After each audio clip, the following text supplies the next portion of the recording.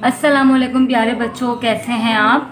आज जो हम वीडियो देखेंगे वो है H C F using long division method हमें फाइंड आउट करना है नंबर्स का एच सी एफ़ और लॉन्ग डिवीज़न मेथड के थ्रू हम कैसे फाइंड आउट कर सकते हैं। ये हमारे लिए है ग्रेड फाइव का। ठीक है? अच्छा अब हमने पहले वीडियो में देखा था कि प्राइम फैक्टराइजेशन के थ्रू एच सी एफ़ हम कैसे निकालते हैं। आपको पता है एच एक ऐसा नंबर होता है जिसके टेबल में 26 भी आए 56 भी आए और 80 भी आए। तो हमें ऐसा एक नंबर फाइंड आउट करना है जिसके टेबल में ये तीनों नंबर आते हों, ठीक है? अच्छा मेथड डिफरेंट होते हैं एच मालूम करने के, आपने पहले भी देखा होगा वैन डायग्राम भी होती है डिफरेंट चीज़ें होती हैं। लेकिन जब नंबर्स आपके पास तीन हैं तो उसके लिए डिफरेंट हम सॉल्यूशंस यूज़ करते हैं। जैसे कि पहली वीडियो में हमने यूज़ किया long sorry prime factorization method और इस वीडियो में हम देखेंगे लॉन्ग डिवीज़न मेथड ठीक है? ये क्लास फाइव में बच्चे यूजुअली पहली दफ़ा पढ़ते हैं। आप डिवीज़न से समझ गए होंगे कि हमें कौन सा जो है प्रोसेस करना है सोल्यूशन यहाँ पे करना है डिवीज़न का हमें ऑपरेशन यहाँ पे करना है। ठीक है? तो लेकिन डिवीज़न में आपको ये भी पता है कि जब हम डिवीज़न का सम बनाते हैं तो डिवीज़न के सम में तो सिर्फ़ दो नंबर्स यूज़ होते हैं। अभी तीसरा नंबर मैं कैसे यूज़ करूँ? उसके लिए ज़रूरी ये है कि हमें ये पता हो कि हमें कौन से नंबर्स इसमें से पहले यूज़ करने हैं और कौन सा नंबर आखिर में यूज़ करना है। तो हम लेंगे असेंडिंग ऑर्डर में नंबर ठीक है? हम असेंडिंग ऑर्डर में भी ले सकते हैं डिसेंडिंग में भी ले सकते हैं। असेंडिंग मतलब सबसे छोटा और उससे बड़ा, और डिसेंडिंग मतलब सबसे बड़ा और उससे छोटा, यानी कि इस वक्त मैं ले रही हूँ अपनी मर्ज़ी से असेंडिंग ऑर्डर असेंडिंग ऑर्डर में मेरे पास ये दो नंबर्स आते हैं, सबसे छोटा जो मैं आगे, आखिर में मतलब सॉरी इसके बाहर रखूँगी डिवाइज़र है। और 56 जो कि डिवाइड होगा, ठीक है? अब 26 के टेबल में 26 को जब मैं टू टाइम्स पढ़ूँगी तो आएगा मेरे पास 52 ठीक है? ये 52 आंसर आएगा 26 सिक्स टू ज़ार ठीक है? अब मैं इसको करूँगी माइनस सिक्स में से टू जब माइनस होंगे तो आएगा मेरे पास आंसर फोर और फाइव में से फाइव माइनस ज़ीरो अच्छा आंसर यहाँ पे जब तक मेरे पास रिमाइंडर में ज़ीरो नहीं आ जाता, तब तक मैं इसको डिवाइड करती रहूँगी।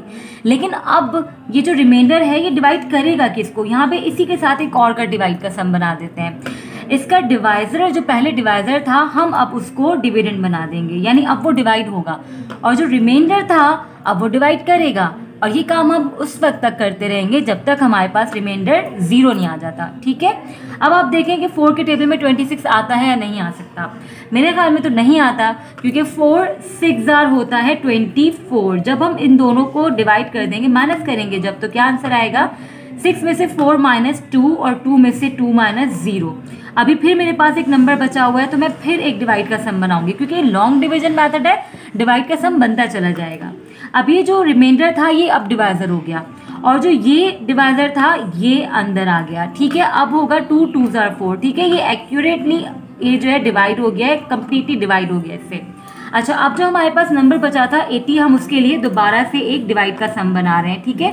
आपको पता है एटी बड़ा है तो वो अंदर आ, अंदर रखा जाएगा वो डिविडेंड बन जाएगा। लेकिन अब इसको डिवाइड कौन करेगा? इस नंबर को वो डिवाइड करेगा जो आखिरी डिवाइज़र था, जिसने आखिरी बार इन दोनों को डिवाइड किया, यानी कि टू अब आपको पता है टू के टेबल में हर वो नंबर आता है जिसके आखिर में zero two four six eight हो. इसके आखिर में ज़ीरो है तो आप समझ जाएँ कि कम पूरा पूरा जो है टू से डिवाइड हो जाएगा. टू फोर ज़ार एट और टू ज़ीरो ज़ार ज़ीरो जब हम माइनस करेंगे रिमाइंडर है ज़ीरो इट मीन्स हमारा ये जो तीनों नंबर्स हैं, ये पूरे पूरे डिवाइड हो गए लेकिन किस नंबर से डिवाइड हुए हैं? कौन सा नंबर है जिसने इन तीनों को डिवाइड किया है? क्या आंसर हमारे पास फोर्टी है? क्या फोर्टी के टेबल में ट्वेंटी सिक्स और फिफ्टी सिक्स आ सकता है? ऑब्वियसली नहीं आ सकता तो हमारे पास जो एच सी एफ़ है, वो है टू ठीक है? हमारे पास एच सी एफ़ टू है. टू एक ऐसा नंबर है जिसके टेबल में ट्वेंटी सिक्स भी आता है फिफ्टी सिक्स भी आता है और एटी भी आता है.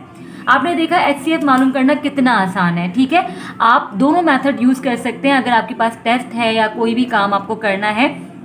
आप एच सी एफ़ जो है लॉन्ग डिवीज़न मेथड के थ्रू भी यूज़ कर सकते हैं फाइंड आउट कर सकते हैं और प्राइम फैक्टराइजेशन के थ्रू भी फाइंड आउट कर सकते हैं। लेकिन एक चीज़ का ख्याल रखें, अगर आपके टेस्ट में बाकायदा लिखा हुआ है कि H C F using long division method तो आपको लॉन्ग डिवीज़न मैथड ही करना है। और अगर आपके पास टेस्ट में आता है कि find H C F using prime factorization method तो फिर आपको अपना मैथड प्राइम फैक्टराइजेशन ही रखना होगा।